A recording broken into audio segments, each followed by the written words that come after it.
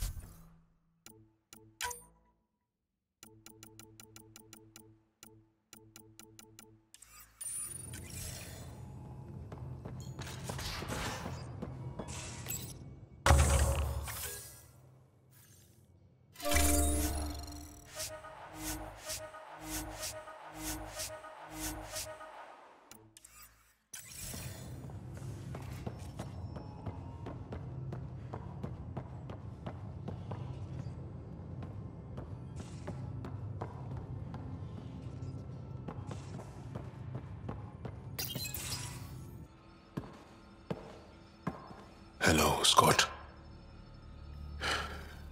Have you come to see if I'm finally broken? To see what discovering that my people were invented has done to me? Just here if you need to talk. I can't imagine what you're feeling. I've been staring out the window, trying to figure that out. That's new. True. Angara are usually very free with our feelings. Not talking about all Angara. I'm talking about you. I'm numb. I'm in awe. There's a peace in knowing that though the universe is beyond your understanding, it doesn't need your understanding to function. That you may even have a hidden destiny.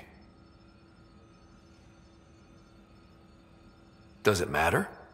Your people aren't shackled to this new discovery. I agree.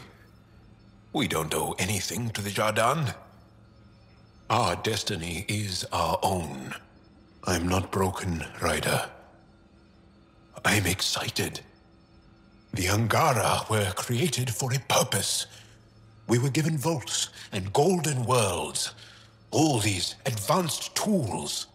And there is nothing the Kett can do about it. The future holds more for the never-ending war on the Kett. Much more. For the Angara? Hell, for all of us.